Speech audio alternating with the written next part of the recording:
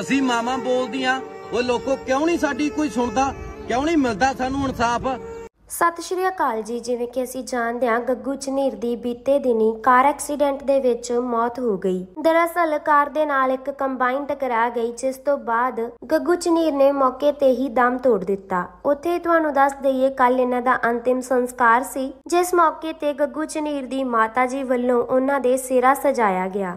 ਪਹਿਲੇ ਤਾਂ ਆਪਾਂ ਜਾਣਦੇ ਹਾਂ ਹਰ ਇੱਕ ਮਾਂ ਦਾ ਚਾਹ ਹੁੰਦਾ ਕਿ ਉਹ ਆਪਣੇ ਪੁੱਤਰ ਦਾ ਧੂਮਧਾਮ ਦੇ ਨਾਲ ਵਿਆਹ ਕਰੇ। ਪਰ ਜਦੋਂ ਇਸ ਤਰ੍ਹਾਂ ਇੱਕ ਮਾਂ ਨੂੰ ਆਪਣੇ ਪੁੱਤ ਦੇ ਸਿਹਰਾ ਸਜਾਉਣਾ ਪੈ ਜੇ, ਤਾਂ ਇੱਕ ਮਾਂ ਦੇ ਲਈ ਇਸ ਤੋਂ ਵੱਡੀ ਦੁੱਖ ਦੀ ਗੱਲ ਹੋਰ ਕੀ ਹੋ ਸਕਦੀ ਹੈ? ਉੱਥੇ ਹੀ ਤੁਹਾਨੂੰ ਦੱਸ ਦਈਏ, ਗੱਗੂ ਚਨੀਰ ਸਿੱਧੂ ਮੂਸੇਵਾਲੇ ਦਾ ਕੱਟੜ ਫੈਨ ਸੀ, ਜਿਸ ਦੇ ਚੱਲਦਿਆਂ ਸਿੱਧੂ ਮੂਸੇਵਾਲੇ ਦੇ ਫਾਦਰ ਵੀ ਉਹਨਾਂ ਦੇ ਘਰ, ਉਹਨਾਂ ਦੇ ਅੰਤਿਮ ਸੰਸਕਾਰ ਤੇ ਪਹੁੰਚੇ। ਜੋ ਵੀਡੀਓ ਤੁਸੀਂ ਸਕਰੀਨ ਤੇ ਪਲੇ ਹੁੰਦੀ ਹੋਈ ਵੀ ਦੇਖ ਸਕਦੇ ਹੋ।